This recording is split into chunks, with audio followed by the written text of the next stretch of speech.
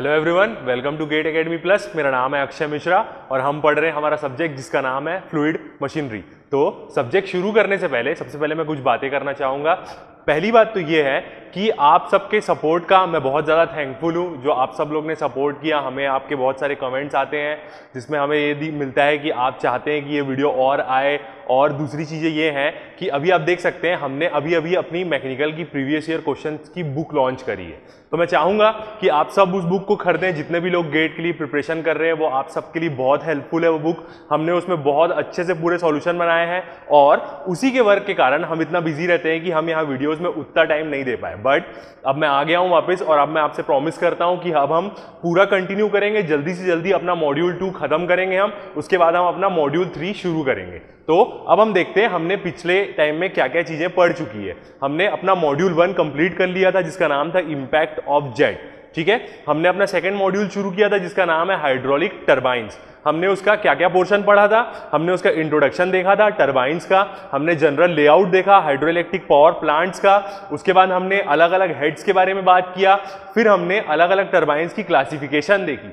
उसके बाद हमने अपनी एक टर्बाइन कंप्लीट कर ली थी, जिसका नाम था इम्पल्स टर्बाइन इम्पल्स टर्बाइन में हमने क्या पढ़ा था? पेल्टन व्हील के बारे में हमने पढ़ लिया था, जो एक क्या है? इम्पल्स टेंजेंशियल फ्लो टर्बाइन है। अब उसके बाद अगला टॉपिक हमारा क्या आएगा? हमारा आएगा रेडियल फ्लो टर्बाइंस का। जो रेडियल फ्लो टर्बाइंस कैसी टर्बाइंस होगी, यहाँ पे अब हम रिएक्शन टर्बाइंस के बारे में पढ़ना शुरू कर देंगे। जैसे ही हम रेडियल फ्लो टर्बाइंस के बारे में अच्छे से समझ जाते हैं जस्ट हमारा अगली टर्बाइंस क्या शुरू हो जाएगी? फ्रांसिस टर्बाइन पढ़ेंगे। उसके बाद हम कैप्लान और प्रोपेलर टर्बाइंस के बारे में पढ़ेंगे। तो चलिए कंटिन्यू करते हैं हमारा सब्जेक्ट और एक और बात मैं ये बोलना चाहूँगा कि ये अब जैसे शुरू हो रहा है तो अब हम मॉड्यूल टू अपना जल्दी कंप्लीट कर देंगे, ताकि आपको दो मॉड्यूल अच्छे से पूरा प्रॉपर वे में मिल जाए। उसके बाद हम अपना थर्ड मॉड्यूल शुरू करेंगे। तो चलिए शुरू करते हैं हमारा टॉपिक जिसका नाम है रेडियल फ्लो टर्बाइंस ठीक है? इसके पहले हमने इंपल्स टर्बाइन के बारे में पढ़ लिया, अब हम क्या पढ़ेंगे? रेडियल फ्लो रिएक्शन टर्बाइंस के बारे में पढ़ेंगे, ठीक है? तो चलिए शुरू करते हैं। सबसे पहले, यदि मैं रेडियल टर्बाइंस के बारे में बात करूँ,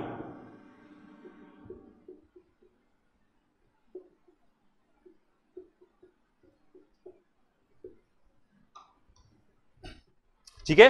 तो रेडियल टर्बाइंस कैसी होती है? ऐसी टर्बाइन होती है जिसमें वाटर रेडियली फ्लो करता है। किसके ऊपर? रनर के ऊपर।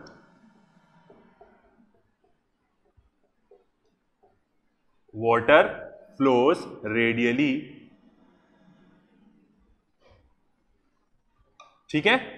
अब ये वाटर किसमें फ्लो करेगा? रनर के ऊपर कैसे फ्लो करेगा? रेडियली फ्लो करेगा। यदि आप थोड़ा सा और इमेजिन करना चाहते हैं तो मैं आपको एक डायग्राम बना के दिखाता हूँ। मान के चलिए, ये हमारा शाफ्ट है। ठीक है? और इसमें हमारे ब्लेड्स लगे हुए हैं, ये ऐसे। तो ये क्या है? हमारे रेडियल कर्व्ड वेन्स हैं रेडियली कर्व्ड किया गया है इन ब्लेड्स को। तो इसके ऊपर वाटर कैसे फ्लो करेगा? हमारा रेडियली फ्लो करेगा। मतलब रेडियली मतलब कैसे? इसके रेडियस के थ्रू मतलब ये ऐसे फ्लो करेगा वाटर हमारा। ठीक है? अब रेडियल फ्लो टर्बाइंस में जब ये इनवर्ट फ्लो कर सकता है तो आउटवर्ड भी फ्लो कर सकता है। इसलिए रेडियल फ्लो टर्बाइंस कितने प्रकार की होती है? दो प्रकार की होती है। एक होती है इनवर्ड और दूसरी क्या होती है? आउटवर्ड इनको क्या बोलते हैं हम? इनवर्ड फ्लो रेडियल टर्बाइंस या आउटवर्ड फ्लो रेडियल टर्बाइंस ठीक है? अब दूसरी चीज़ हम बात करेंगे, क्या है हमारी रेडियल फ्लो रिएक्शन टर्बाइन है? तो यदि हम रिएक्शन टर्बाइन के बारे में बात करें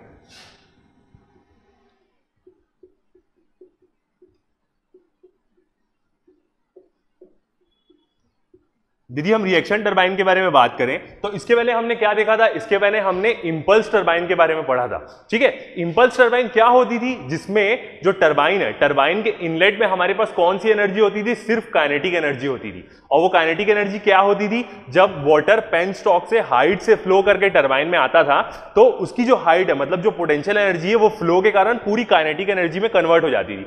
और इसी एनर्जी की मदद से हम टरबाइन के ब्लेड्स को क्या करते थे? रोटेट करते थे। बट यदि हम रिएक्शन टरबाइन के बारे में बात करें तो रिएक्शन टरबाइन में क्या होता है कि यहाँ काइनेटिक एनर्जी तो हम यूटिलाइज करेंगे ही, साथ में हम प्रेशर डिफरेंस भी क्रिएट करेंगे। मतलब टरबाइन के इनलेट पे ज़्यादा प्रेशर रहेगा और आउटलेट पे कम प्रेशर रहेगा। उसके कारण क्या होगा? हमें पता है फ्लो कैसे फ्लो होता है। High pressure to low pressure या high concentration to low concentration ठीक है? तो क्या होगा? प्रेशर डिफरेंस के कारण हमें एनर्जी का और एक सम मिलेगा। इसलिए रिएक्शन टर्बाइन में क्या होता है? यदि हम रिएक्शन टर्बाइन के बारे में बात करें तो energy at the inlet of turbine ठीक है, मैंने क्या बोला कि टर्बाइन के इनलेट पे कौन कौन सी दो एनर्जी होगी? एक हमारी क्या होगी? काइनेटिक एनर्जी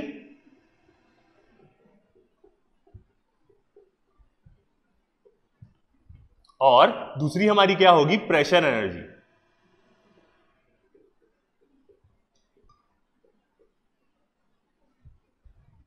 ठीक है? तो मतलब हम रिएक्शन टर्बाइन के बारे में बात करें तो उसमें क्या होती है? टर्बाइन के इनलेट में दो प्रकार की एनर्जी होती है। ठीक है? अब एक चीज़ और देखेंगे कि क्या होता है? जब वाटर फ्लो करेगा रनर के ऊपर। रनर आप समझ सकते हैं क्या होता है? टर्बाइन का शाफ्ट होता है। उसके ऊपर जो ब्लेड्स हम माउंट करते हैं, वो एक पेरीफेरी में अलग से एक रिंग में माउंट करते हैं। उस रिंग को हम क्या बोलते हैं? रनर बोलते हैं। ठीक है? तो जब वाटर रनर के ऊपर फ्लो करता है तो क्या होगा? सबसे पहले, अब वो हाइट से फ्लो होकर आ रहा है तो ऑब्वियसली बात है, उसके पास कुछ काइनेटिक एनर्जी तो होगी। हम प्रेशर डिफरेंस भी क्रिएट कर दे रहे हैं, ठीक है? तो प्रेशर डिफरेंस क्रिएट करने के कारण क्या होगा? जब वो रनर के ऊपर फ्लो करेगा तो वो अपनी कुछ प्रेशर एनर्जी क्या करेगा? काइनेटिक एनर्जी में कन्वर्ट करते रहेगा। पूरी कन्वर्ट नहीं होगी, क्योंकि हम जानते हैं कि एनर्जी हम पूरी कन्वर्ट नहीं कर सकते। कुछ अपनी वो एनर्जी या हम बोल सकते हैं मैक्सिमम अपनी प्रेशर एनर्जी क्या करेगा? काइनेटिक एनर्जी में कन्वर्ट करने की कोशिश करेगा। क्योंकि एट लास्ट हमें क्या चाहिए? हमें टर्बाइन का रोटेशन चाहिए पावर प्रोड्यूस करने के लिए, ठीक है? तो अब हम अपना अगला पॉइंट लिखेंगे। As water flows through runner. ठीक है? जब वाटर रनर के ऊपर फ्लो करेगा, और हमें पता है कि ये क्या है? एक प्रकार की रिएक्शन टरबाइन है। तो रिएक्शन टरबाइन है तो ऑब्वियसली बात है प्रेशर डिफरेंस तो क्रिएट हुआ ही रहेगा। मतलब जो वाटर फ्लो करेगा, वो कैसे फ्लो करेगा? अंडर प्रेशर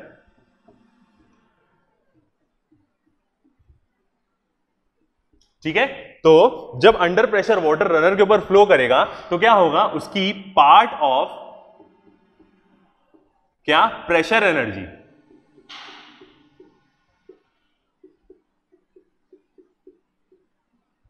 ठीक है? उसकी कुछ पार्ट प्रेशर एनर्जी किसमें कन्वर्ट हो जाएगी? हमारी कन्वर्टेड इनटू काइनेटिक एनर्जी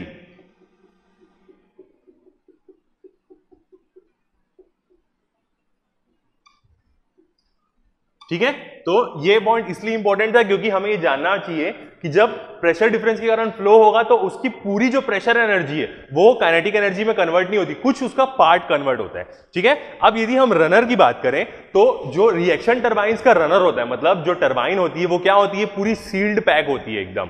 पूरी टाइट होती है, उसके अंदर एयर जाने का कोई वो नहीं रहता। इसी कारण तो प्रेशर डिफरेंस क्रिएट होता है। यदि उसमें थोड़ा सा भी लीकेज रहेगा तो प्रेशर डिफरेंस कैसे क्रिएट होगा? ठीक है?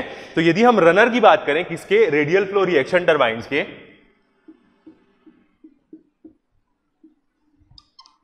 तो रनर क्या होता है? ऑलवेज फुल ऑफ़ वाटर ठीक है? उसमें हमेशा वाटर फुल रहेगा ही, हमेशा उसमें वाटर भरे ही रहेगा। कभी ऐसा नहीं होगा कि उसका कुछ पोर्शन जो है टर्बाइन के अंदर का, कुछ पोर्शन वर्किंग के बीच में खाली हो जाए, वो पूरा फुल रहेगा। ठीक है? और रनर के साथ क्या होती है? अब ऑब्वियसली बात है रनर फुल ऑफ़ वाटर है तो रनर के अंदर क्या होगा? जो पूरा लिक्विड होगा, उसको होल्ड कौन करेगा? केसिंग ही होल्ड करेगी। इसका मतलब क्या होता है? रनर और केसिंग क्या होती है? ऑलवेज फुल ऑफ़ वाटर होती है। ठीक है? तो ये क्या है हमारा इंट्रोडक्शन किसका? रेडियल फ्लो टर्बाइंस का। क्या होती है? ऐसी टर्बाइन जिसमें वाटर क्या करता है? रेडियली फ्लो करता है। हमने impulse sorry impact of jet में इस चीज़ के बारे में पढ़ा है। कब पढ़ा है? हमारा लेक्चर जो फाइव है, उसमें हमने एनालिसिस किया है किसके ऊपर?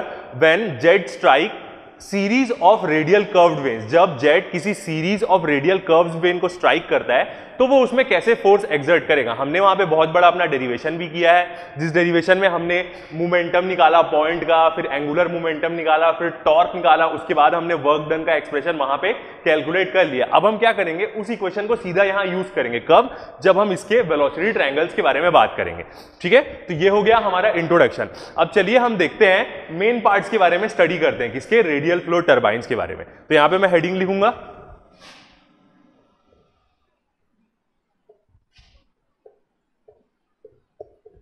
Main parts of radial flow turbines ठीक है? ऑब्वियसली बात है रेडियल फ्लो रिएक्शन टर्बाइंस के बारे में ही पढ़ेंगे। तो यहाँ हमने अपना डायग्राम बना लिया है। तो चलिए इस डायग्राम को एनालिसिस करते हैं। ठीक है? अब इस डायग्राम को बनाने में मैंने अलग अलग कलर्स का यूज़ किया है। इसलिए, ताकि हमको सारी चीज़ें अच्छे से समझ में आए, ठीक है? सबसे पहले हम देखते हैं जो ये ब्लू वाला पोर्शन है। ये ब्लू वाला पोर्शन क्या है? हमारा शाफ्ट है। ठीक है? इस शाफ्ट के ऊपर ही हमारा रनर को क्या करते हैं? हम माउंट करते हैं। तो आप देख सकते हैं जो हमारा रनर बना हुआ है, वो रेड पोर्शन से बना हुआ है। ये अलग अलग कलर यूज़ करना हमारे लिए कहाँ पे काम आएगा? जब हम इनवर्ड और आउटवर्ड फ्लो रिएक्शन टर्बाइन के बारे में पढ़ेंगे तो अब हम वहाँ देखेंगे कि जैसे जैसे फ्लो चेंज होता है, यदि फ्लो इनवर्ड जाता है या आउटवर्ड जाता है, उस हिसाब से हम अपने गाइड ब्लेड्स को सेट करते हैं। कभी गाइड ब्लेड्स अंदर होते हैं रनर बाहर होता है। ऐसा कब होगा? ऐसा आउटवर्ड फ्लो टर्बाइन के केस में होगा। ठीक है? तो सबसे पहला हमारा बीच वाला पोर्शन शाफ्ट जिसको हमने ब्लू से डिनोट किया है, और हमारी केसिंग भी क्या है? ब्लू है। ठीक है? उसके बाद उसके ऊपर हमारा रनर लगा हुआ है, ठीक है? रनर में हमारे क्या होते हैं? मूविंग ब्लेड्स होते हैं, जो हमें क्या करते हैं? वर्क प्रोड्यूस करके देते हैं, ठीक है? उसके ऊपर क्या लगे रहता है? हमारे गाइड वेन्स लगे रहते हैं। आप देख सकते हैं जो ग्रीन वाला पोर्शन है, ये क्या है? हमारे गाइड वेन्स है। इसको हम एक और चीज़ क्या बोलते हैं? विकेट गेट भी बोलते हैं। ये क्या काम करते हैं? जैसे हमारी इंपल्स टर्बाइन में स्ट्राइक करने से पहले नोजल लगी हुई रहती है, ये उसी प्रकार का एक्ट करते हैं गाइड ब्लेड ये क्या होते हैं? ये फिक्स्ड होते हैं, ये मूव नहीं करते हैं। रोटेट क्या करता है? अंदर वाला हिस्सा रनर है, वो रोटेट करता है। ये क्या होते हैं? ये फिक्स्ड होते हैं। ये क्या करते हैं? ये फ्लो को गाइड करते हैं। किसके ऊपर? जो हमारे मूविंग ब्लेड्स हैं, उसके ऊपर ना ये फ्लो को गाइड करते हैं, ताकि जो फ्लो एंटर हो गाइड ब्लेड्स के ऊपर, उसमें कोई शॉक ना हो। शॉकलेस एंट्री हो, ये वो काम करते हैं। ये फिक्स्ड होते हैं, ठीक है? उसके बाद हम अपनी नेक्स्ट चीज़ देखेंगे जो ब्लू वाला पोर्शन है हमारा बाहर का, ये क्या है हमारी, ये हमारी टर्बाइन की पूरी केसिंग है। ठीक है? ये जनरली जो ये केसिंग होती है, वो क्या होती है? आप देख सकते हैं क्या क्या नाम बोलते हैं उसको, हम वॉल्यूट केसिंग बोलते हैं स्पायरल या स्क्रोल केसिंग बोलते हैं। ठीक है? आप देख सकते हैं ये एक प्रकार का स्पाइरल शेप ही है, और रियल लाइफ में भी आप देखेंगे तो वो ऐसा रहता है, वो क्या रहता है? एक प्रकार का स्पाइरल शेप ही रहता है। ठीक है? इसमें क्या होता है? वाटर यहाँ से पेन स्टॉक से आता है ठीक है? उसके बाद क्या करता है, वो पूरी पेरीफेरी में डिस्ट्रीब्यूट होता है वाटर अब आप देख सकते हैं, कुछ ब्लेड यहाँ पे भी है, कुछ ब्लेड यहाँ पे भी है तो वाटर क्या होता है? आते आते एक एक ब्लेड्स में यहाँ पे जाना शुरू कर देता है। इसी कारण क्या होता है? ये रोटेट होने लग जाता है। पहले गाइड ब्लेड में जाएगा। गाइड ब्लेड क्या करेगा? थोड़ी और उसकी वेलोसिटी इंक्रीज कर देगा, क्योंकि एज अ नोजल का भी ये थोड़ा सा फ़ंक्शन करता है। ठीक है? शॉकलेस एंट्री कर देगा, फिर वो क्या करेगा? रनर को रोटेट करेगा और क्या होगा? वो अपने शाफ्ट जो शाफ्ट है, उससे रेडियली डिस्चार्ज हो जाएगा। ठीक है? अब जैसे हम ये डायग्राम के बारे में बात करें तो ये डायग्राम क्या है? एक इनवर्ट फ्लो टर्बाइन का डायग्राम है। ठीक है? बट ये एक रेडियल फ्लो टर्बाइन भी हम आउटवर्ड इनवर्ट का एक और डायग्राम देखेंगे और आउटवर्ड फ्लो का भी देखेंगे। ठीक है? दूसरी चीज़, आप इसमें ये चीज़ देख सकते हैं कि ये इनवर्ट फ्लो टर्बाइन कैसे हो रही है? आप देखिए, बाहर से आ रहा है और अंदर की तरफ़ रेडियली जा रहा है। ठीक है? इसका मतलब क्या है? ये एक इनवर्ट फ्लो टर्बाइन है। अब आप एक और चीज़ देख सकते हैं कि देखिए, इसके शाफ्ट में एक डॉटेड लाइन का कंस्ट्रक्शन है, जो सीधा कहा है? टेल रेस से कनेक्टेड है। ये क्या है? इसको हम बोलते हैं हमारी ड्राफ्ट ट्यूब ठीक है? आप एक चीज़ जान लीजिए कि इंपल्स टर्बाइन में ड्राफ्ट ट्यूब की ज़रूरत नहीं पड़ती, मगर रिएक्शन टर्बाइन में ड्राफ्ट ट्यूब की ज़रूरत पड़ती है। क्योंकि क्या होता है कि जब ऊपर से फ्लो आता है तो इनलेट का प्रेशर और आउटलेट के प्रेशर में डिफरेंस ज़्यादा हो जाता है। आउटलेट का प्रेशर यदि बहुत कम हो जाएगा तो जब अपन उसको डिस्चार्ज करेंगे तो टर्बाइन के एंड में क्या दिक्कत आने लग जाएगी? कैविटेशन की प्रॉब्लम आने लग जाएगी। क्योंकि प्रेशर इतना कम हो जाता है कि वो वाटर के वेपर प्रेशर को रीच कर देता है। अब उसके कारण क्या होगा? बबल्स बनने लग जाएँगे लो प्रेशर रीजन में हाई प्रेशर रीजन में जाके बर्स्ट हो जाएँगे कैविटेशन की प्रॉब्लम होगी। इसको हम और डिटेल्स में पढ़ेंगे आगे जाके। ठीक है? अब उसके बाद हम इसके केसिंग के एरिया के बारे में बात करते हैं। ठीक है? अब आप एक चीज़ देखिए, यदि मैं दो सेक्शन मानू, ये मेरा सेक्शन एक्स एक्स और ये मेरा सेक्शन वाई वाई ठीक है? अब आप एक चीज़ इस डायग्राम में देख सकते हैं, ऐसा ओरिजिनली भी होता है कि आपको ये सेक्शन थोड़ा बड़ा दिख रहा होगा और ये सेक्शन आपको थोड़ा सा छोटा दिख रहा होगा।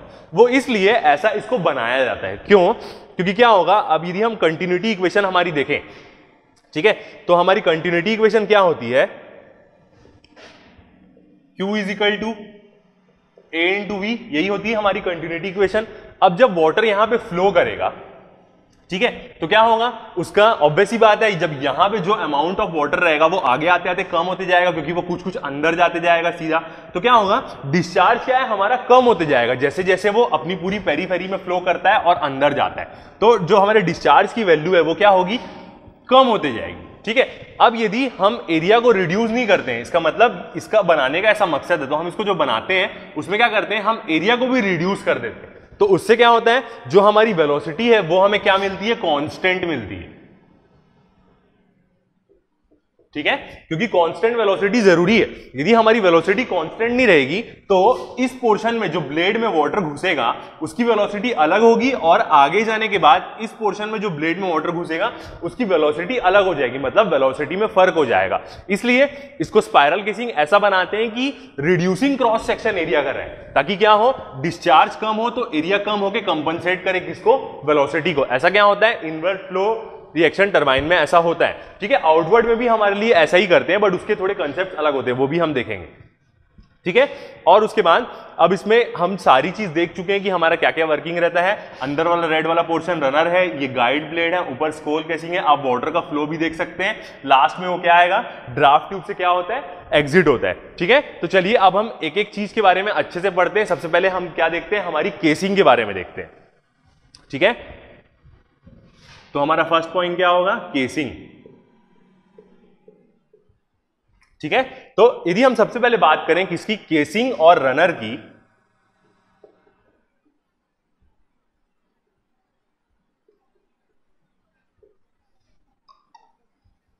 तो अब हम एक चीज़ पहले ही देख चुके हैं कि ऑब्वियसली बात है प्रेशर डिफरेंस क्रिएट हो रहा है तो हमें क्या है? टरबाइन के अंदर हमेशा पूरा पानी भरा चाहिए। तो क्या होता है ये? ऑलवेज फुल ऑफ़ वाटर होता है।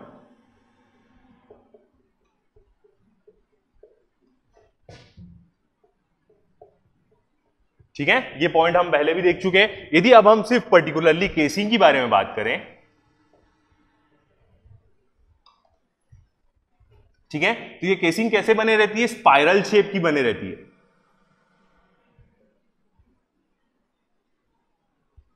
ठीक है? और नेक्स्ट हमने एक और इंपॉर्टेंट चीज़ क्या देखी डायग्राम में? कि जो इसका क्रॉस सेक्शन एरिया रहता है, वो क्या होता है? रिड्यूस होता है। तो क्या होती है?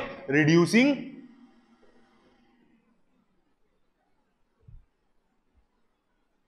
cross section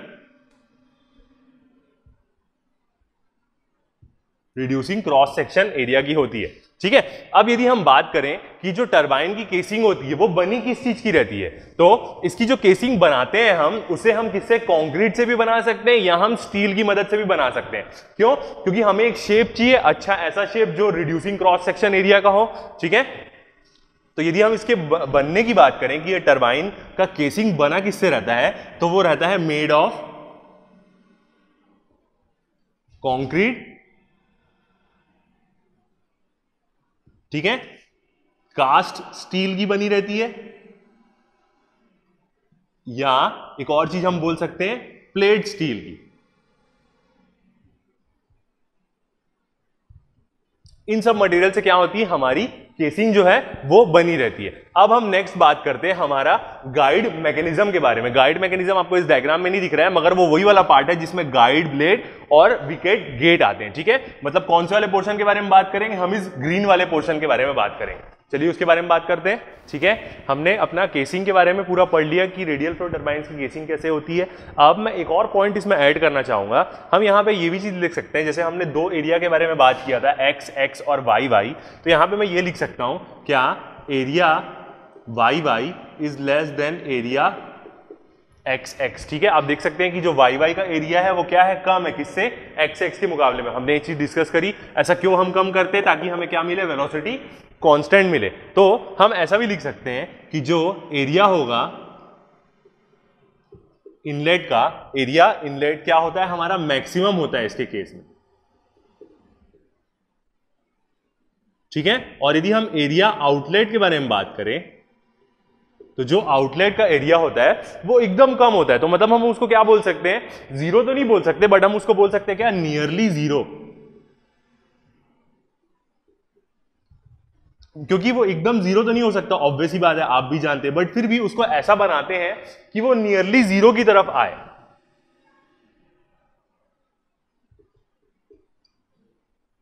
ठीक है? नियरली ज़ीरो अब उसके बाद हम नेक्स्ट चीज़ देखते हैं हमारा, हमने अपने केसिंग के बारे में पढ़ लिया, अब हम नेक्स्ट चीज़ क्या करते हैं? गाइड मैकेनिज्म के बारे में देखते हैं। और ये देखते हैं कि गाइड मैकेनिज्म की अच्छे से स्टडी करने के लिए क्या क्या इंफॉर्मेशन हमें नीडेड है। ठीक है? गाइड मैकेनिज्म कौन सा वाला पोर्शन होगा? ये जो ग्रीन वाला पोर्शन है, जो रनर के ऊपर है स्टेशनरी है, उसके बारे में हम स्टडी करते हैं। तो आइए देखते हैं हमारा नेक्स्ट टॉपिक क्या होगा।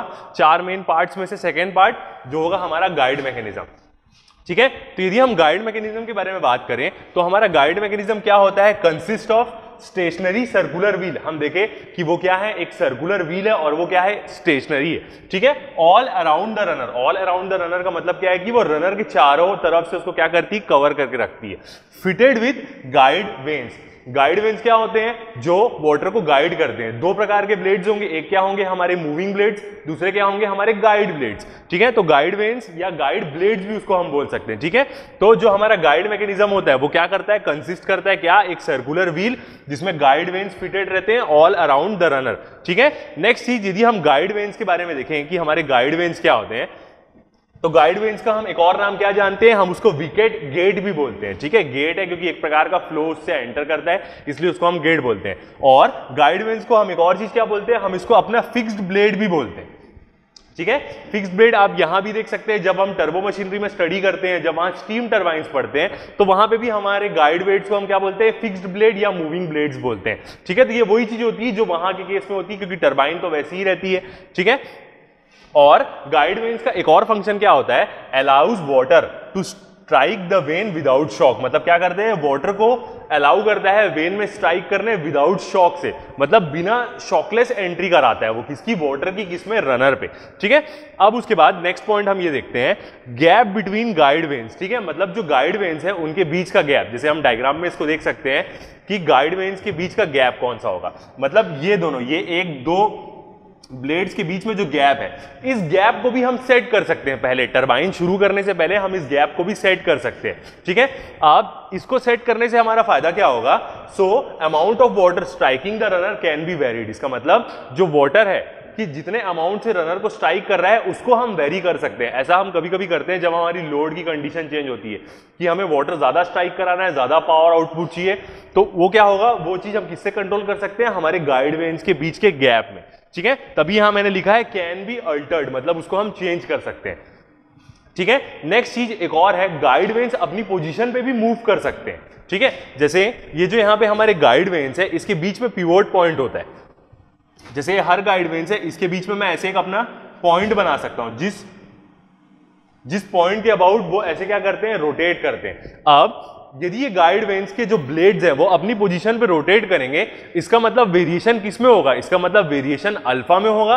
अल्फ़ा क्या था? हम अपने इंपैक्ट ऑफ़ जेट में पढ़ते थे। अल्फ़ा क्या था? हमारा जो जेट जिस एंगल से स्ट्राइक करता है, किसको? ब्लेड को, वो होता है हमारा। मतलब क्या? नोजल एंगल हम उसको वहाँ बोलते थे। बट यहाँ पे क्या है? हमारी नोजल क्या होती है? गाइड वेन्स होते हैं। वहाँ पे नोजल नहीं होती इस केस में। तो यहाँ पे क्या होगा?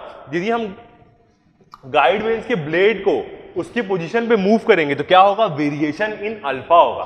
अल्फ़ा हम जानते थे क्या है। हमने बहुत सारे अपने वेलोसिटी डायग्राम्स में देखा है कि अल्फ़ा कौन सा एंगल बनाता है। अल्फ़ा कौन सा एंगल रहता है? जब जेट किसी वेन को स्ट्राइक करता है तो ये जो एंगल होता है, ये हमारा अल्फ़ा होता है। इसको क्या बोलते हैं हम? Guide blade angle at the inlet देखिए, वहाँ पे भी उसको हम गाइड ब्लेड एंगल ही बोलते हैं। ठीक है? अब ये जो है, जो वेरिएशन है अल्फ़ा का अपनी पोजीशन पे, ये हम किसकी मदद से कर सकते हैं? हैंड व्हील की मदद से भी कर सकते हैं और दूसरा ऑटोमेटिकली बाई गवर्नर की मदद से भी होता है। यदि कोई टर्बाइन ऑटोमेटेड है पूरी और उसमें हमें कुछ भी फ़ंक्शन चाहिए तो वो हम ऑटोमेटिकली गवर्नर की मदद से भी कर सकते हैं। क्या कर सकते हैं हम? वेरिएशन किसमें कर सकते हैं? गाइड ब्लेड्स में, ठीक है?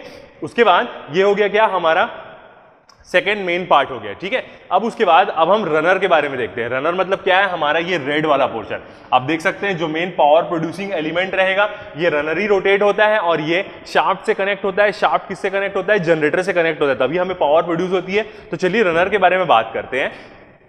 सबसे पहले आप देखिए रनर रनर क्या होता है? सर्कुलर व्हील होता है। ऑब्वियसली बात है, एक सर्कुलर व्हील है, जिसमें radial curved vanes are fitted होते हैं। मतलब हमारी रेडियल फ्लो टर्बाइन से तो ऑब्वियसली बात है, इसके जो ब्लेड होंगे, वो क्या होंगे? रेडियल कर्व्ड वेन्स होंगे। तो रनर के ऊपर हम क्या करते हैं? रेडियल कर्व्ड वेन्स को हम फिट करते हैं। जैसे आप डायग्राम में देख सकते हैं, हमने वहाँ पे रेड रंग के हमारे ब्लेड्स बनाए। ठीक है? और यहाँ पे मैंने एक और पॉइंट लिखा है वेरी स्मूथ वेरी स्मूथ का मतलब क्या होता है? हमने देखा है कि हम जो ब्लेड्स हैं, उसको बहुत स्मूथ बनाते हैं, ताकि उसके अंदर कोई भी फ्रिक्शन लॉस ना हो। यदि ब्लेड्स रफ होंगे तो जो फ्लो होगा, वो उसके ऊपर क्या होगा? स्टॉप होने की कोशिश करेगा। और फ्रिक्शन जनरेट करेगा, हमारा पावर लॉस होगा। इसलिए उसको बहुत स्मूथ बनाते हैं, ताकि फ्रिक्शन बहुत कम रहे। ठीक है? उसके बाद नेक्स्ट चीज़ यहाँ पे लिखी हुई है आर सो शेप्ड मतलब उसको ऐसे शेप्ड करते हैं, जो ये चीज़ हमने पहले भी पढ़ चुकी क्या? वाटर एंटर करेगा और लीव करेगा कैसे? विदाउट शॉक किसमें? रनर में, ठीक है? तो उसको ऐसी इसलिए इतना शेप करके रखते हैं ताकि वो जो है शॉकलेस एंट्री ना हो। यदि उसमें कोई भी ऊपर अप्स एंड डाउन रहेंगे तो वो शॉक क्रिएट करेगा। ठीक है? अब यदि हम रनर की बात करें कि रनर बना किससे रहता है तो रनर बना किसका रहता है? कास्ट स्टील से बना सकते हैं हम रनर को। स्टेनलेस स्टील से भी बना सकते हैं और कास्ट आयरन से भी बना सकते हैं हम अपने रनर का जो मटेरियल होता है, ठीक है? और ऑब्वियस ही बात है रनर है तो शाफ्ट के साथ तो वो कीड हो गई। तो इसलिए यहाँ पे मैंने ये पॉइंट भी ऐड कर दिया कि वो क्या होगा? शाफ्ट के साथ कीड रहता है। ठीक है? अब उसके बाद ये हो गया हमारा कौन सा? तीन पॉइंट्स हमने देख लिया। पहला हमने केसिंग देख ली गाइड मैकेनिज्म देख लिया रनर देख लिया। अब जो हमारा फोर्थ पॉइंट रहता है, जो फोर्थ मेन हिस्सा होता है रेडियल फ्लो टर्बाइंस का, जो हमें जानना ज़रूरी है वो क्या होता है? ये वाला हिस्सा। मतलब हमारा ड्राफ्ट ट्यूब, क्योंकि ऑब्वियसली बात है, ये एक रिएक्शन टरबाइन है। तो रिएक्शन टरबाइन का एक पार्ट हमेशा ड्राफ्ट ट्यूब होगा ही। बिना ड्राफ्ट ट्यूब के रिएक्शन टरबाइन का वर्क करना पॉसिबल नहीं है। ठीक है? तो चलिए, अब हम हमारा फोर्थ पॉइंट देखते हैं। जो हमारा फोर्थ मेन पार्ट होगा, वो क्या होगा? Draft tube.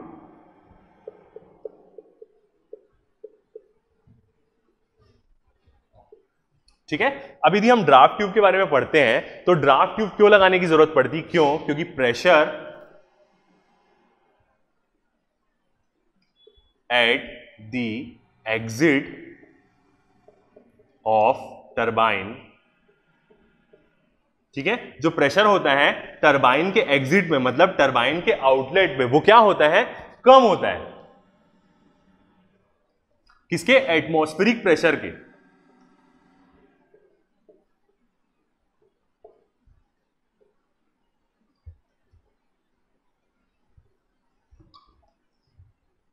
ठीक है? एटमॉस्फेरिक प्रेशर से कम होता है। ऑब्वियसली बात है, यदि टरबाइन के एग्जिट में प्रेशर एटमॉस्फेरिक प्रेशर से कम हो गया तो क्या होगा? बाहर का प्रेशर ज़्यादा हो जाएगा बैक फ्लो होने लग जाएगा। बैक फ्लो होने के कारण हमारे बहुत सारी दिक्कतें हो सकती है कैविटेशन की प्रॉब्लम भी होती है वहाँ पे। इसलिए हमारा ड्राफ्ट ट्यूब लगाना मेनली किस लिए ज़रूरी होता है? ताकि हम कैविटेशन को रिड्यूस कर सकें। ठीक है? तो अब देखिए, अब जैसे मान के चलते हैं कि जो टरबाइन के एग्जिट में प्रेशर है, वो लेस देन एटमोस्फियर है तो हम क्या वाटर को सीधा टेल रेस में डिस्चार्ज कर सकते हैं? नहीं कर सकते। ठीक है? तो water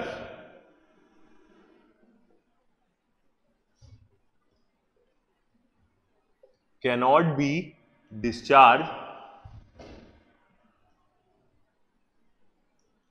to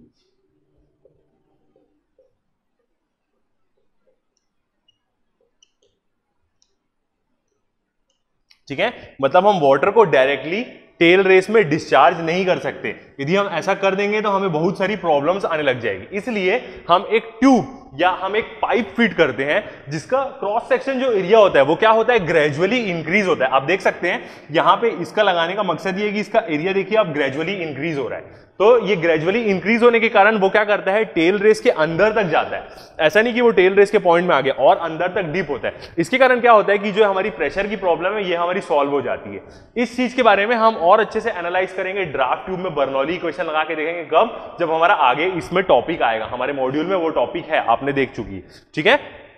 तो यदि हम ड्राफ्ट ट्यूब के बारे में बारे में बात करें तो वो क्या होती है? ट्यूब होता है एक प्रकार का। या हम इसको क्या बोल सकते हैं? पाइप ठीक है?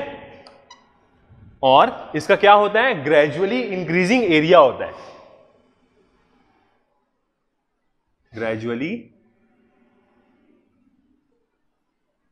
इंक्रीजिंग एरिया ठीक है?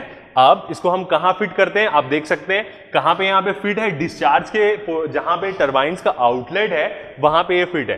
तो इसको हम क्या लिख सकते हैं यहाँ पे? Fitted at the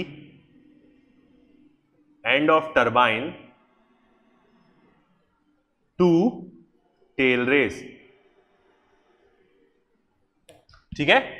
अब ये एक और चीज़ क्या हमारी मदद करता है, जो नेगेटिव सक्शन हेड है, ठीक है? उसको क्रिएट करने से रोकता है। ऑब्वियसली बात है नेगेटिव सक्शन हेड कैसे क्रिएट हो जाएगा। यदि आउटलेट पे प्रेशर एटमोस्फेरिक से कम हो गया तो नेगेटिव सक्शन हेड क्रिएट नहीं होगा तो ये क्या करता है? उसको रिड्यूस करता है। तो हम यहाँ पे एक और चीज़ क्या लिख सकते हैं?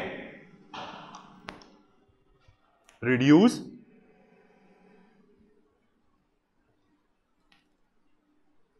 नेगेटिव सक्शन हेड ठीक है? ये क्या करता है? हमारा नेगेटिव सक्शन हेड को रिड्यूस करता है। ये मेन क्या होता है? ड्राफ्ट ट्यूब का फ़ंक्शन होता है। इसके बारे में हम और अच्छे से आगे में एनालिसिस करेंगे, दो पॉइंट्स लेके बर्नोलिज इक्वेशन लगा के। ठीक है? तो ये क्या था? ये हमारा था क्या? पूरा रेडियल फ्लो टर्बाइन के बारे में, कि उसके मेन पार्ट क्या होते हैं?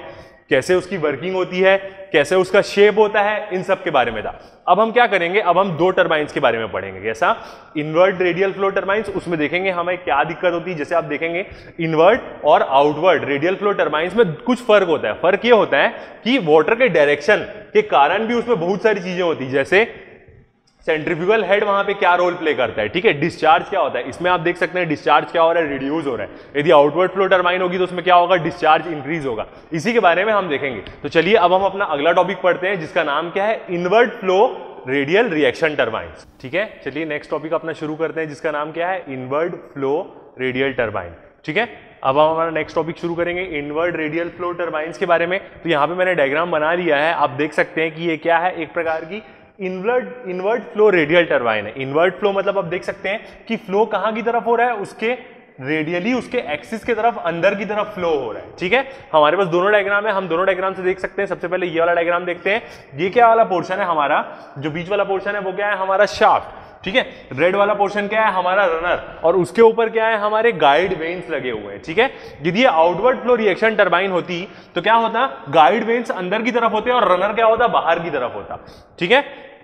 अब आप यहाँ से देख सकते हैं कि फ्लो आएगा। अब हमने पिछले वाले डायग्राम में देखा है कि फ्लो हर एक पॉइंट से अंदर आता है तो आप देख सकते हैं कि यहाँ फ्लो देखिए आप अंदर की तरफ़ आ रहा है। इसलिए क्या बोलते हैं हम इसको इनवर्ट रेडियल फ्लो टर्बाइंस के बोलते हैं। ठीक है? अब यदि हम ये वाला डायग्राम देखें तो ये उसी डायग्राम का जस्ट साइड व्यू है। यदि हम एक सेक्शन कट कर दें तो उसका एक साइड व्यू है। ये क्या है? हमारा बीच वाला पोर्शन शाफ्ट है। ठीक है? ये जो हमारे जो, ये है, ये हमारा क्या है? रनर है रनर मूविंग बेड्स ठीक है? या मूविंग वेन्स बोल सकते हैं हम उसको, ठीक है? नेक्स्ट चीज़ जो आउटर में हमारे क्या लगे हुए हैं? गाइड वेन्स लगे हुए हैं। ये है हमारे आउटर के गाइड वेन्स जो क्या करेंगे, हमारे फ्लो को डायरेक्ट करेंगे रनर के ऊपर। तो आप यहाँ से भी देख सकते हैं कि देखिए फ्लो आएगा पहले गाइड वेन में, फिर मूविंग ब्लेड्स में जाएगा रोटेट करेगा, उसके बाद क्या होगा, यहाँ से वो डिस्चार्ज हो जाएगा। ठीक है? अब जब हम न्यूमेरिकल सॉल्व करते समय एनालिसिस करते हैं तो हम क्या करेंगे, हमें इनलेट और आउटलेट की टेंजेंशियल वेलोसिटीज जाननी ही पड़ेगी, क्योंकि वहाँ हमारे एक्सप्रेशन में V W one U one plus minus V W two U two होता है। ठीक है? तो इसलिए क्या है, दो ठोक डायमीटर्स होते हैं। इससे ये डायमीटर की मदद से हम क्या करते हैं यू वन और यू टू इनलेट और आउटलेट की टेंजेंशियल वेलोसिटी निकाल लेते हैं रेडियल कर्व वेन्स की। तो ये कैलकुलेशन में हमें काम आते हैं। तो ये क्या है हमारी इनवर्ट रेडियल फ्लो टर्बाइन है। चलिए इसके बारे में और हम जानते हैं, ठीक है?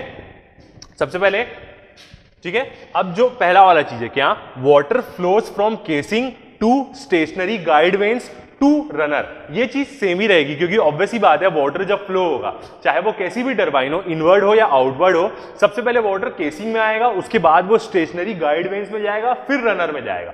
यदि वो आउटवर्ड रिएक्शन टर्बाइन भी रही तो बस दोनों की पोजिशन अलग अलग हो जाएगी। गाइड वेन्स अंदर आ जाएँगे रनर बाहर आ जाएगा। मगर सबसे पहले वाटर कहाँ जाएगा? स्टेशनरी गाइड वेन्स में ही जाएगा, या फिक्स्ड प्लेट्स में जाएगा, उसके बाद मूविंग प्लेट्स में जाएगा। ठीक है? तो इसलिए ये वाला पॉइंट इंपॉर्टेंट है यहाँ पे। ये चीज़ आउटवर्ड फ्लो रिएक्शन टर्बाइन में भी सेम रहेगी।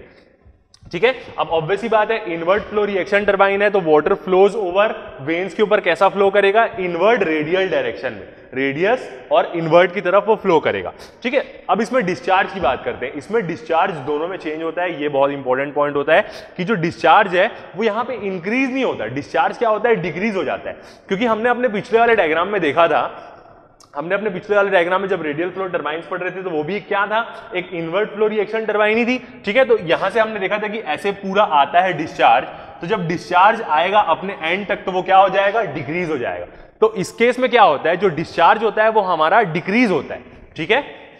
वैसे ही हम आउटवर्ड फ्लो रिएक्शन टर्बाइंस के बारे में बात करें तो उसमें क्या होता है? हमारा डिस्चार्ज इंक्रीज होता है। वो भी चीज़ हम देखेंगे। ठीक है? और डिस्चार्ज होता कहाँ से? हमारा जो इनर डायमीटर ऑफ़ रनर है D2 वहाँ से डिस्चार्ज होगा, ठीक है? अब आप यहाँ पे देख सकते हैं कि ये जो पोर्शन है, यहीं से डिस्चार्ज हो रहा है, यही है हमारा D2 और ये क्या है? हमारा रनर का इनर डायमीटर आउटर डायमीटर हमारा रनर का क्या होगा? D1 होगा, ठीक है? तो यहाँ से डिस्चार्ज टेक प्लेस रहेगा, और इंपॉर्टेंट चीज़ ये याद रखना है कि डिस्चार्ज क्या होता है? इस केस में इंक्रीज नहीं होता। ठीक है? उसके बाद नेक्स्ट चीज़ हम बात करते हैं नेगेटिव सेंट्रीफ्यूगल हेड जब इन्वर्ट टर्बाइन फ्लो का केस होता है तो उसमें क्या मिलता है? हमें नेगेटिव सेंट्रीफ्यूगल हेड मिलता है. अब ये चीज़ समझते हैं क्या होती है. जैसे देखिए, अब टर्बाइन के अंदर वॉटर आ रहा है, ठीक है? अब आप एक चीज़ देख सकते हैं कि ये रोटेट भी कर रहा होगा बहुत तेज़ी से. ठीक है? तो रोटेट करने के कारण क्या होगा? जो वाटर होगा ब्लेड्स के ऊपर, उसको वो क्या करेगा? आउटवर्ड फेंकने की कोशिश करेगा। अपने किसके कारण? सेंट्रीफ्यूगल एक्शन के कारण। ठीक है? यही चीज़ तो कंप्रेसर में होती है। हम वाटर को बहुत तेज़ी से रोटेट करते हैं तो वो क्या करता है? अपनी रोटेशनल एनर्जी को क्या करता है? प्रेशर एनर्जी में कन्वर्ट कर देता है और स्टोर करता है। यही चीज़ इसमें भी होती है। तो वाटर आ रहा है अंदर की तरफ़ और जब ये रोटेट करेगा तो वाटर के एक पॉइंट को वो बाहर की तरफ़ फेंकने की कोशिश करेगा। ठीक है? तो इससे क्या मिलता है? हमें एक वो मिल जाएगी मतलब एक नेगेटिव एनर्जी मिलेगी यहाँ पे। मतलब नेगेटिव सेंट्रीफ्यूगल हेड मिलेगा, मगर ये फ़ायदेमंद होता है इस केस में। क्योंकि आउटवर्ड फ्लो रिएक्शन टर्बाइन के केस में जब वो बाहर जाता है और सेंट्रीफ्यूगल हेड भी उसको बाहर की तरफ़ पुश करता है तो स्पीड कंट्रोल कर पाना पॉसिबल नहीं होता। इसकी मदद से क्या होता है कि हम स्पीड कंट्रोल कर पाते क्योंकि टर्बाइन का जो नेगेटिव सेंट्रीफ्यूगल हेड है, वो पानी को थोड़ा सा बाहर तरफ़ पुश करने की कोशिश करेगा। ठीक है? तो इस नेगेटिव सेंट्रीफ्यूगल हेड के कारण क्या होता है? Decrease relative velocity of water at outlet मतलब जो आउटलेट में मतलब जो यहाँ पे जो वाटर होगा, ठीक है? आउटलेट में आउटलेट मतलब यहाँ शाफ्ट की तरफ़। जो वाटर होगा, उसकी क्या होगी? रिलेटिव वेलोसिटी क्या होगी? डिक्रीज होगी। ऑब्वियसली बात है, वो थोड़ा सा अपने सेंट्रीफ्यूगल एक्शन के कारण वाटर की अंदर जाती हुई वेलोसिटी को डिक्रीज करेगा, बिल्कुल करेगा। ठीक है? इस कारण क्या होता है? हमारी स्पीड कंट्रोल क्या होती है? वेरी इफ़ेक्टिव होती है। इस टर्बाइन के केस में हम स्पीड कंट्रोल कर सकते हैं। क्योंकि जब हम outward reaction outward flow turbine के बारे में बात करेंगे तो उसमें क्या होता है? एक तो वो आउटवर्ड भी फ्लो करेगा सेंट्रीफ्यूगल एक्शन के कारण और उसकी स्पीड बढ़ा देगा तो टर्बाइन क्या करती है? रेस करने लग जाती है। ठीक है? और स्पीड कंट्रोल बहुत मुश्किल होता है। तभी यहाँ पे मैंने अगला पॉइंट लिखा है tendency wheel to race wheel की जो टेंडेंसी है रेस करने की नील होती है। क्योंकि टर्बाइन क्या करती है? इसमें अपनी स्पीड खुद ही एडजस्ट कर लेती है। इस केस में टर्बाइन रेस नहीं करती है। ठीक है? तो ये क्या होता है? हमारा एडवांटेज होता है इनवर्ट फ्लो रिएक्शन टर्बाइन का। अभी के केस में प्रैक्टिकल यूज़ के यदि हम माने तो इन टर्बाइंस को हम मीडियम हेड के लिए यूज़ करते हैं और अभी यही टर्बाइंस हम यूज़ करते हैं, क्योंकि आउटवर्ड जो आउटवर्ड जो फ्लो टर्बाइंस है, उसको हम अभी बिल्कुल यूज़ नहीं करते। क्योंकि वो हमारी यूजफुल नहीं होती, उसमें कंट्रोल करने में उसको दिक्कत जाती है, उसमें बहुत सारी प्रॉब्लम होती है, इसलिए हम प्रैक्टिकली अभी इनवर्ट फ्लो रिएक्शन टर्बाइन ही यूज़ करते हैं, हर जगह। आउटवर्ड फ्लो रिएक्शन टर्बाइन का जमाना खत्म हो गया अपना ठीक है? अब उसके बाद हमने इसके बारे में पूरा पढ़ लिया, इसके पार्ट्स के बारे में पढ़ लिया, अब हम क्या देखेंगे? इसका वेलोसिटी ट्रायंगल और वर्क डन का एक्सप्रेशन देख लेते ठीक है?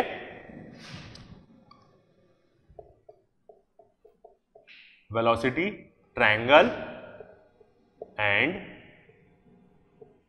work done. ठीक है, बात करते हैं वर्क डन और वेलोसिटी ट्रायंगल की। तो यहाँ पे जो हम वर्क डन कैलकुलेट करते हैं, वो हम क्या कैलकुलेट करते थे? Work done per second calculate करते थे। हम इंपैक्ट ऑफ़ जेट में ये चीज़ पूरी देखें कि हम यहाँ पे work done per second calculate करते थे। और इसका एक्सप्रेशन क्या होगा? Rho A V one bracket में V W one U one plus minus V W two U two ये हमारा क्या होगा? एक्सप्रेशन होगा। इस एक्सप्रेशन को हम बहुत अच्छे से डिराइव कर चुके हैं किसमें? हमारे इंपैक्ट ऑफ़ जेट में। और यदि आप उस लेक्चर को देखना चाहें कि वो किस लेक्चर में हमने इसको डिराइव किया था तो वो है हमारा लेक्चर फाइव लेक्चर फाइव में हमने इस इक्वेशन को डिराइव किया है और वो किसका केस है? जब एक जेट किसी radial curve vane series of radial curve vanes को स्ट्राइक करता है तो उसमें जो एक्सप्रेशन होता है, वो यही वाला एक्सप्रेशन था, हमने कैलकुलेट किया है। आपको ये जो लेक्चर फाइव का वीडियो है, ये आपको अपने इस वीडियो के डिस्क्रिप्शन में भी मिल जाएगा। आप जाके वहाँ पर उस डेरिवेशन को देख सकते हैं, यदि आपने प्रीवियसली नहीं पढ़ा है तो। हमने वहाँ पर इस चीज़ को डिराइव किया है, बहुत अच्छे से पूरा वेलोसिटी ट्रायंगल बना के हमने इस इक्वेशन को वहाँ पर डिराइव किया है। ठीक है? अब इस इक्वेशन इक्वेशन को एक और तरीके से मैं लिख सकता हूँ। जो यहाँ पे एरिया और वेलोसिटी है, ये क्या मिल जाता है? डिस्चार्ज बन जाता है। हम कंटिन्यूटी इक्वेशन से देखते हैं। तो यहाँ पे हम इसको लिख सकते हैं rho Q V W one U one plus minus V W two U two ठीक है? और यहाँ पे प्लस और माइनस का भी कंसेप्ट हमने कई बार देखा है। क्या? ये किस पे डिपेंड करता है? जो आउटलेट वेलोसिटी ट्रायंगल होता है, उसके बीटा पे डिपेंड करता है। यदि 90 डिग्री से छोटा हुआ एक्यूट हुआ तो प्लस डिस्चार्ज हुआ, यदि मतलब रेडियल डिस्चार्ज हुआ तो ये क्या होती है, ये पूरी वैल्यू ही खत्म हो जाती है। सिर्फ़ वी डब्ल्यू वन की वैल्यू होती है। और यदि 90 डिग्री से बड़ा हुआ तो यहाँ पे हम क्या करते हैं माइनस साइन यूज़ करते हैं, ठीक है? इस इक्वेशन को हम एक और तरीके से जान सकते हैं। इसको हम क्या बोलते हैं energy transfer per second to runner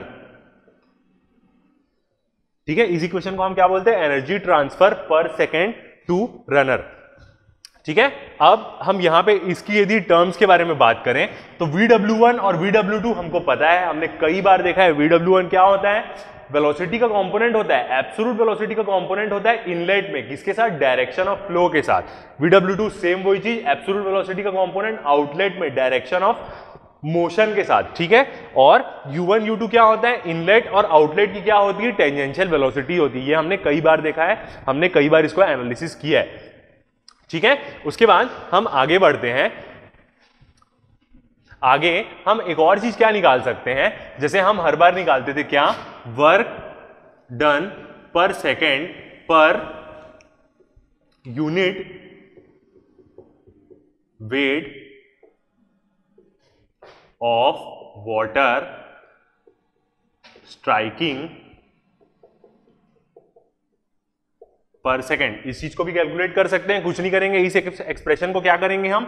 ऊपर वाले एक्सप्रेशन को रो ए वी वन वाले को क्या करेंगे? मास से डिवाइड कर देंगे मतलब पर यूनिट वेट से। वेट मतलब एम इंटू जी से हम उसको डिवाइड कर देंगे। तो लिखते हैं rho A V one bracket में V W one plus minus V W two U two divide by किससे हम डिवाइड करेंगे? इससे एम डॉट जी से। ठीक है? क्योंकि weight of water striking per second है। ठीक है? अब हम यहाँ पे ये चीज़ देख सकते हैं कि जब हम यहाँ पे मास का फॉर्मूला निकालते हैं mass flow rate M dot है तो उसकी वैल्यू यही होती क्या? रो ए वी वन ही होती तो मतलब ये टर्म और ये टर्म हमारी कट जाएगी। तो जो हमारा एक्सप्रेशन है, वो एक्सप्रेशन क्या बनेगा? हमारा वन बाई जी ब्रैकेट में वी डब्ल्यू वन चलिए हम प्लस कंसीडर कर लेते हैं। हम ये कंसीडर कर लेते हैं कि जो हमारा वेलोसिटी ट्रायंगल बनेगा, उसका बीटा 90 डिग्री से छोटा होगा। V W one U one plus V W two U two ठीक है? अब ये जो हमारी एक्सप्रेशन है, ये एक्सप्रेशन हमारा आगे बहुत यूज़ आएगा। क्यों? क्योंकि इसके बाद जो हम अगला टॉपिक पढ़ेंगे, वो क्या होगा? हमारा डिग्री ऑफ़ रिएक्शन के बारे में पढ़ेंगे। उसके बाद हम फ्रांसिस टर्बाइन में आएँगे। तो डिग्री ऑफ़ रिएक्शन को हम पूरा प्रूफ करेंगे कि वो कैसे उसका आता है, उसकी जो तीन टर्म होती है, पूरा प्रेशर का चेंज रनर के अंदर प्रेशर का चेंज टोटल एनर्जी चेंज उस चीज़ के बारे में हम पूरा एनालिसिस करेंगे। तब हम वहाँ पे इस इक्वेशन को यूज़ करेंगे, जो जस्ट हम आउटवर्ड फ्लो रिएक्शन टर्बाइन के बाद पढ़ेंगे। ठीक है? तो ये जो इक्वेशन है, इस इक्वेशन को हम क्या बोलते हैं? यूलर्स या fundamental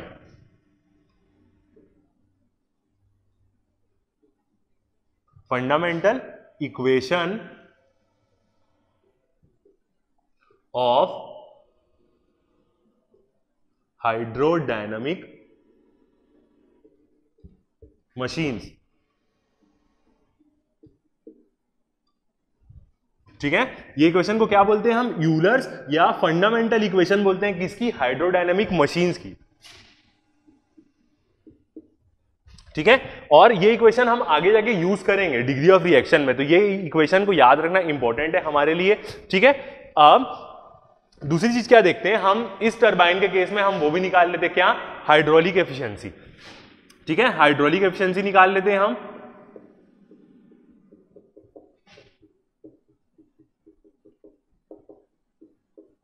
ठीक है? हाइड्रोलिक एफिशिएंसी का फॉर्मूला क्या होता था हमारा?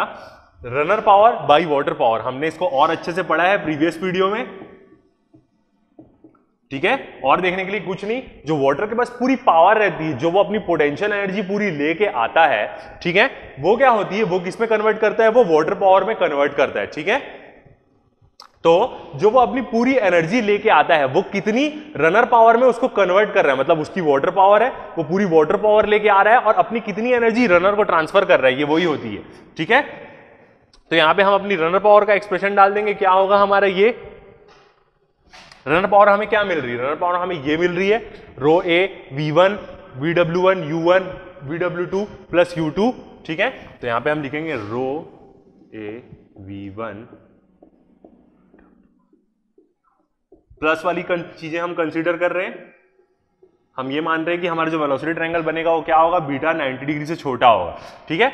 अब हम वाटर पावर की बात करते हैं। जब वाटर आता है हाइट से तो कौन सी एनर्जी होती है उसके पास? पोटेंशियल एनर्जी होती है और पोटेंशियल एनर्जी का फॉर्मूला क्या होता है? एम जी एच तो यहाँ पे क्या होगा? M dot into G into H net और वो एच कौन सा रहता था? जो हमारा हेड होता था, वो क्या होता था? नेट हेड होता था। जस्ट हमने प्रीवियस वीडियो में ये सारी चीज़ें पढ़ी है। ठीक है? तो यहाँ से क्या होगा? हम अभी जैसे हमने कट किया एम डॉट और हमारा रो ए वी वन तो ऑलरेडी कट हो जाएगा। तो हमारा एक्सप्रेशन क्या बनेगा? V W one U one plus V W two U two by G into H net ये क्या होगा हमारा? हाइड्रोलिक एफिशिएंसी का एक्सप्रेशन बनेगा। ठीक है? अब यदि हम मान लेते हैं अभी तो हम क्या मान रहे हैं कि हमारा बीटा जो है वो 90 डिग्री छोटा है। यदि रेडियल डिस्चार्ज हो गया रेडियल डिस्चार्ज मतलब क्या हो गया? कि वो सीधा यहाँ से निकल गया तो क्या होता है? मतलब आउटलेट पे जो बीटा होगा, वो क्या होगा? 90 डिग्री हो जाएगा। अब 90 डिग्री होता है तो क्या होता है? ये टर्म पूरी खत्म हो जाती है। इसका मतलब यदि इफ़ डिस्चार्ज इज़ रेडियल और जनरली जब हम फ्रांसिस टर्बाइन पढ़ेंगे तो डिस्चार्ज वहाँ पे क्या होता है? रेडियली होता है। तो जब डिस्चार्ज रेडियल हो गया तो हमारे हाइड्रोलिक एफिशिएंसी का एक्सप्रेशन क्या हो जाएगा? सिर्फ़ एक टर्म रहेगी। V W one U one by G into H net ठीक है? बस एक ही ऊपर की आधी टर्म रहेगी। V W one plus U one वाली। ठीक है? तो इसके साथ हमारा क्या कंप्लीट हो गया? इन्वर्ट फ्लो रेडियल टर्बाइंस या रिएक्शन टर्बाइंस हम बोल सकते हैं इनवर्ट फ्लो ये कंप्लीट हो गया। अब जो हमारा नेक्स्ट वाला वीडियो होगा नेक्स्ट वाले वीडियो में हम क्या करेंगे? आउटवर्ड फ्लो रेडियल टर्बाइंस के बारे में देखेंगे। उसमें हमारी दो चीज़ें क्या फ़र्क होगी, जो डिस्चार्ज के बारे में हम थोड़ा सा बात करेंगे और नेगेटिव सेंट्रिफ्यूगल हेड के बारे में बात करेंगे। ठीक है? एक बार उसको भी देखना ज़रूरी है। उसके बाद हमारा अगला टॉपिक डिग्री ऑफ़ रिएक्शन शुरू कर देंगे। ये सब के वीडियो हम जल्दी बनाने की कोशिश करेंगे और आपको जल्द से जल्द प्रोवाइड हो जाएँगे। तो अभी तक के लिए इतना ही। Thank you